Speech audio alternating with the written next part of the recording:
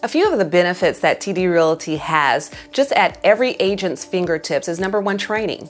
We do training, three or four trainings a week. Um, if you are an agent that can join, great, but we also have it recorded so at any time that is convenient for you, you're able to access it.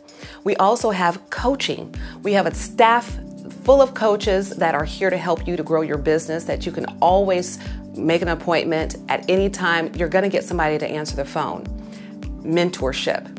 I provide mentorship. We have other experienced agents that provide mentorship. No agent who is starting or experienced can be an outlier and feel like they're by themselves. And we have a, just a toolkit of amazing training tools, such as Chime, um, that houses your own website as well as all of your, your CRM, which encompasses all of your client base, as well as a workplace where every question you could be wanting to answer is there, and we have just several different groups in there that can help your business to grow.